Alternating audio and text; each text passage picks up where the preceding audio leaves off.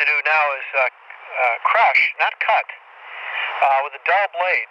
Uh, we're going to attempt to cut, I'm sorry, crush uh, uh, two inches of, of wood. Uh, this is also a, uh, I don't know what kind of wood this is, not really sure. It could be a softer pine, could be harder wood.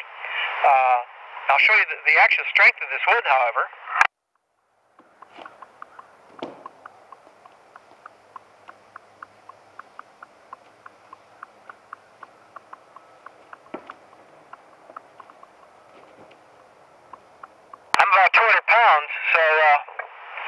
This is not uh, breaking anytime uh, with any great ease. We're going to see what the uh, razor sword will do with this type of wood.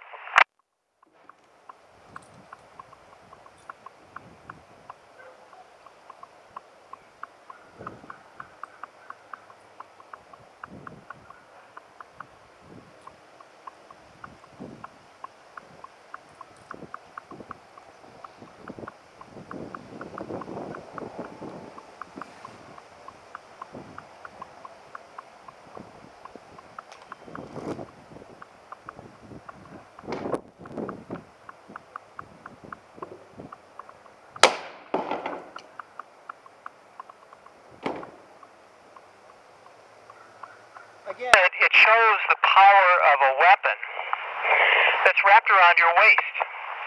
It just shatters it. Uh, you can imagine what this would do with bone.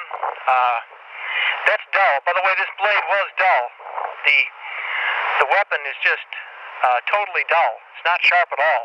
In fact, both of these particular weapons are dull.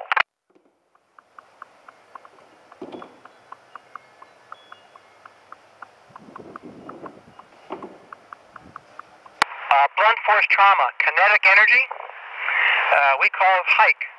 High impact kinetic energy weapons. And they, they are very devastating.